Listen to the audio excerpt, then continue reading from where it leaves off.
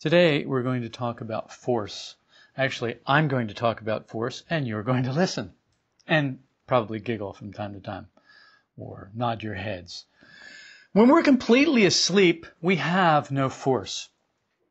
If you do a thing too long, you have no force. Why would it be that if you do a thing too long, then you have no force? It becomes mechanical. See how smart you are? Everybody had the answer. Not everybody, of course, would say it, but everybody had the answer. That's right. You do a thing too long and you have no force because it begins to become mechanical. And it will become mechanical. I don't care what it is. You observe yourself long enough in the same way, it will become mechanical. It won't be self observation anymore. It'll just be sleeping, dreaming. Workforce, the force that we're going to talk about this morning, isn't physical force. There's a difference in forces. And we need to understand the difference in force. Workforce is made through some form of self-knowledge. You've got to have some form of self-knowledge in order to make workforce. It doesn't just fall out of the sky. It doesn't just come in a can that you buy at the work store. It's something that you have to make. And the only way to make it is through some form of self-knowledge. You've got to know something about yourself in order to develop any kind of force, in order to make any kind of force. So it's important to know something about yourself, but how can you know something about yourself? Can you be told? Well, yes, you can be told, but that doesn't mean you'll know anything about yourself. People have been telling you about yourself all your life. You never paid any attention to them.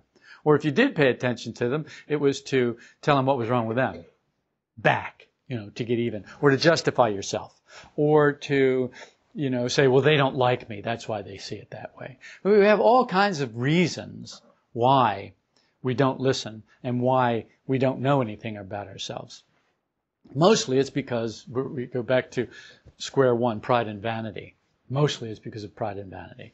We don't know anything about ourselves because we're so pr- proud. We think we think we already know everything. And when your cup is already full, you're not going to get anything else in it. So we've got to have some form of self-knowledge, and that only comes about through not identifying while you observe yourself. Objective self-observation. Well, that's a very difficult and tall order for most people. So it's something needs to be worked up to. And it's something that generates a little bit of force, and every time it generates a little bit of force, you can use that force to do it some more. To understand force, we need to study what makes us lose force. Why? Why do we need to study what makes us lose force? I'll tell you why. Because workforce is what keeps us awake. You don't have any workforce, you're not awake. And you're not going to be awake. And you're not going to wake up. You won't wake up without some workforce. To understand what force is, you've got to understand that it is what keeps you awake. So how much force do we have? Well, not much. how do we know that? Because we're not very awake very often. That's how we know that. So workforce is very important. We don't know that we don't have force if we're asleep. If we're just a function of our personality. If we're identified with what we are in life. We don't know that we don't have any force. We don't know what it is. We don't know that we don't have it. We don't know anything about it because we don't have to because we're asleep. We're identified with life, with what we are in life, with our jobs. I'm a mother. I'm a father. I'm a this. I'm a that. I'm, I'm a, a, a boss. I'm an employee. Whatever it is that we are in life, we're identified with that and we're busy doing that. We don't know we have no force. We don't know that we're asleep. We're in life. So you're either awake or you're in life. You're either awake and in this work, you're, you're awake and you're working, or you're in life. That's it for us. Each center requires a different kind of force in order to work properly. Okay, that makes sense when you think about it. The intellectual center determ- d- demands a certain kind of force. Where the moving center demands an entirely different kind of force. And the emotional center wants a different kind of force in order to, to operate properly. These forces are like energies. So it takes a certain kind of energy to do a certain kind of thing, doesn't it? And you know that sometimes you can be very tired in one area, but you can find energy in another area. You know, like intellectually, you'll, you'll be studying, studying, studying, and intellectually, then you just run out of force. You just run out of energy. But you find that if you go up, you get up and you go do something, you start moving around and doing so, doing the dishes or something, you've got force for that. But you were totally wiped out when you were doing the intellectual thing. So you look and there's, there's another center, there's a whole store of force that you can then use. So that's the wonderful thing about this work and what makes the work, the fourth way so great is that if you run out of force in one center, you go to another center and work. If you run out of force in that center, you can go to another center to work. So there's always a time to work. There's always something that you can do. And that's a good thing. A man may have a great deal of energy in his moving center and nothing in his intellectual center. Depending on, a lot of this would depend on someone's center of gravity. For example, Jess can almost always find something to do in his moving center. He's almost always got force there because he's got a strong center of gravity in his moving center. He likes to do things. There are people who just like to keep busy. And it's funny watching some of these people because what happens, and it's not just people who want to keep busy or people who are centered, who, are, who have their center of gravity in the moving center. Anybody who has a center of gravity anywhere, here's what they do with it. They look at people who aren't like that and they make them wrong. Well, See, so people who have a uh, strong center of gravity in the moving center, anybody else who doesn't, they're lazy. Wow, what a lazy bum that person is. And, you know, and it may be something entirely different. They, this person may be intellectually doing something or emotionally doing something. You know, that they're just not busy running around. So it's a good idea to shut up not make a lot of judgments about other people because we don't know. We just don't know. And if you, and if you need to be working on something, work on yourself. Don't look outside and work on other people. Work on yourself. That's what you really need to be doing. That's your job. Other people are not your job. You, you are your job. You are the one that needs fixing, not the other people. You need fixing. And the only one who can fix you is you. A balanced man has force that can pass at different times into different centers. He can use all the centers at the appropriate time. Well, it's easy to see that we're not balanced men. Because we can't, we can't just pass easily from one center to another center. We can't use all of the centers at the appropriate time. or else we wouldn't be crazy. If we could use all the centers at the appropriate time when they're supposed to be used, we wouldn't be crazy. But now when one center is supposed to be used, we end up using another center. When this kind of force is supposed to be used, we steal force from some other center and use it in this center. And then we, and then the center doesn't operate properly. Which is a pretty good example of what happens to the, uh, the formatory apparatus, which is the negative part of the intellectual center, and also the negative part of the emotional center that what happens is they are using the wrong force. They're getting the wrong forces in there, the wrong energies. They're burning the wrong fuel, so they're pinging. They're missing. They're not doing what they're supposed to be doing. We have five ordinary centers. The intellectual center, the emotional center, the sex center, the moving, and the instinctive center. Balanced man has right force in the right center at the right time. That's what we're, that's what we're working toward. We're working toward having the right force in the right center at the right time. Well, we, we work toward it because we're not there. And that's okay. It's okay that you're not there, but it, it's good to see that you're not there so that you know that you have something to work toward. See, if you already think you're there, then of course you have nothing to work toward. You take yourself for granted, you're satisfied with yourself, and a self-satisfied person goes nowhere in this work. You've got to be dissatisfied with yourself. If you're not dissatisfied with yourself, get dissatisfied with yourself. How do you get dissatisfied with yourself? I'm so wonderful. How could I possibly get dissatisfied with myself? Easy. Just take a look. Just take a look at yourself. Look at what kind of person you actually are. Oh, but I can't see that. Fine, ask me. I'll tell you what kind of person you actually are. And then you can fight with me about it. Then you can argue with me about it. Well, he doesn't know what he's talking about. Oh, he's really off this time. he was right about everybody else, but he's wrong about me. Boy, did, does this sound familiar? I mean, have you heard this going on in your head? Have you heard little I's talking like this in your head? I hope you have, because if you haven't heard them, you haven't been working. You haven't been observing yourself. So basically, if we're tired in one center, there are others, but we have a pattern of life to which we rigidly adhere. It confines us to narrow experience, to narrow meaning. We take everything the same way. All the time. We take everything the same way. Everything. We take it all the same way. And we do it consistently. And that's just what the false personality is like. It takes everything the same way. So this happens, oh, they're rejecting me. That happens, oh, well, they're trying to steal from me. This happens, we're suspicious of that. That happens, well, I'll bust his skull. So we just take everything the same way over and over and over and over and over again. And this confines us to narrow experience and narrow meaning. Each center conducts meaning and has its own kind of meaning. So we can, depending upon which center we're in when we're taking in impressions, that will determine what kind of meaning we get from the impressions that we're taking in. So it's important to be in the right center at the right time in order to get the right meaning. If you're not doing that, well, things could get screwed up quickly. Well, and then we'd have a kind of life that looks like the lives we have. it's possible to pass from one center to another center, or from one part of the same center to another part of the same center. Ouspensky talked about this. He said if you don't understand this, you really are missing out on a big part of the work.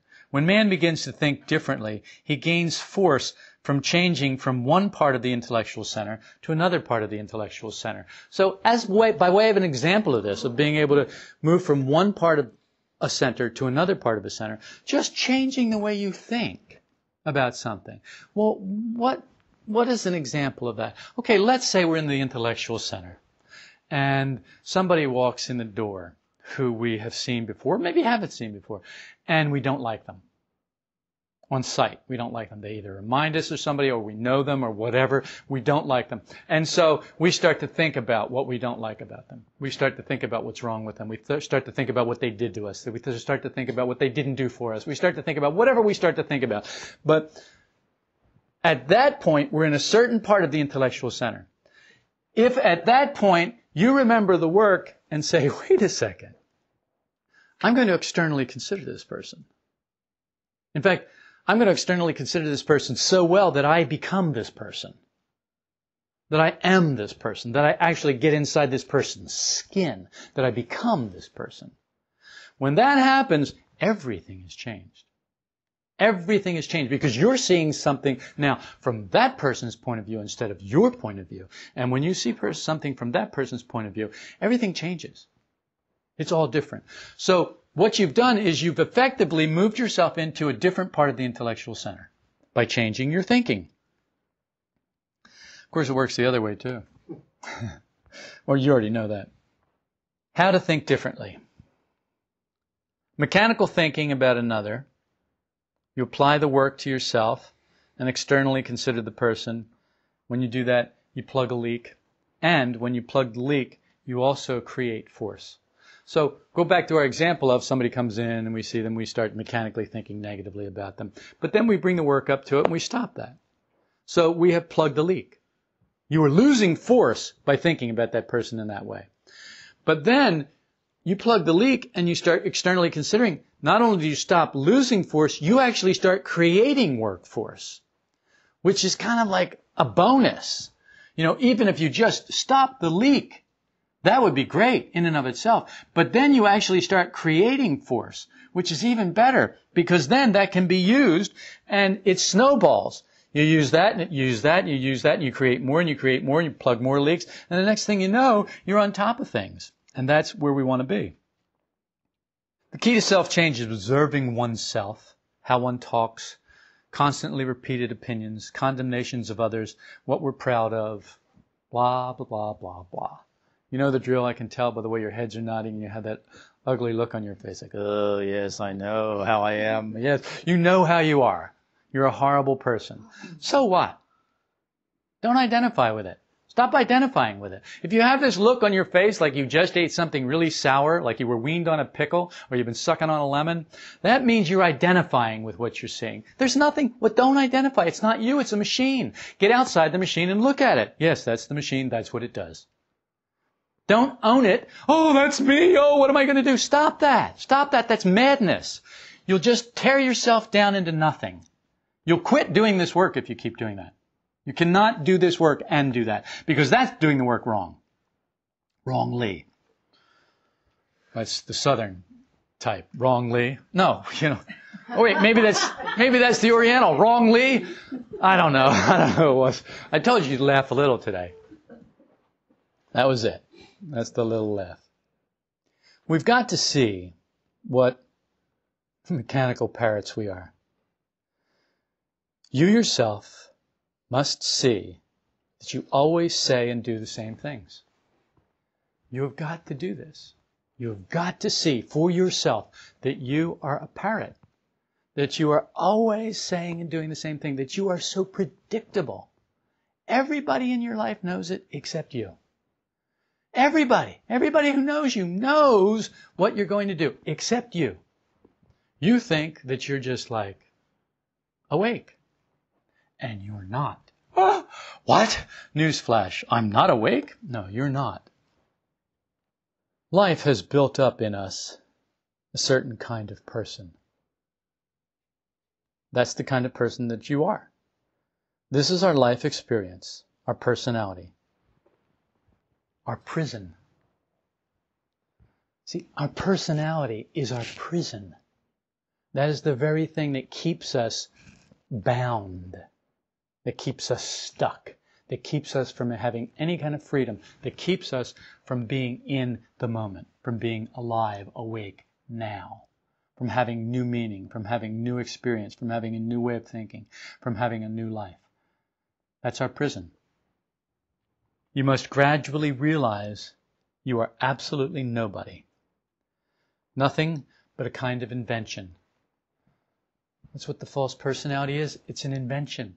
It's an invention of the machine called life. It's acquired habits, it's acquired thought patterns, it's acquired emotions, it's acquired negative emotions, of course. It's just acquired everything. Nothing belongs to it. Nothing is its own. It's all acquired. It all came from somewhere else. It's eclectic. It's just like a dirt magnet. It just collected all of this dirt from life. And it just got bulkier and bulkier and bulkier until here we are. And that's what we are. And we need to understand that, see that, but without getting upset about it. Realize that you're just an invention. That all the stuff that you are now so sure of will all be gone. It's all an invention. And you don't know it. You think, well, I'm thinking these thoughts. These are my thoughts. These are my ideas. No. No, they're not. They're all acquired. They're not your thoughts. They're not your ideas. They're all acquired. You're a programmed machine. So when you really start to see that, can you see how that takes the wind out of your sails? It's like, it just lets the air out of the balloon. You suddenly begin to realize, I'm nothing. I'm nobody. I'm just an invented person. I mean, I'm this invented thing. And life has invented me and I didn't even have anything to do with it. If you can't observe yourself from a work point of view, you're not going to be able to shift from yourself. You'll have no extra workforce, but you'll only have life force. Well, what does that mean? There's workforce and there's life force. Life force is what makes personality and keeps it going. If you have only life force, you will have that which builds personality and keeps it going. Well, that's great if what you want out of life is personality. You don't have to do anything. You don't have to do anything. There's nothing needed now. Because you will, because you've already developed the personality, life has developed the personality for you. You may think you developed it, but life developed it for you. But part of the false personality is the illusion that I did this. You know, the pride and vanity. That's all part of it. It's necessary for first development, this personality, first education of a human being, our first contact with the earth. So this is absolutely necessary. To have the personality is absolutely necessary. We have to have it. But there comes a point in life when you have an opportunity to develop into something else. You don't have to stay a caterpillar. You don't have to stay a worm for the rest of your life. You don't have to go the way of all flesh. You can develop something other than that. You can develop something more. You can become more. And it's at that point that this work really meets us. But there's another force called the workforce, the force of esoteric teaching, the force that leads to rebirth of man.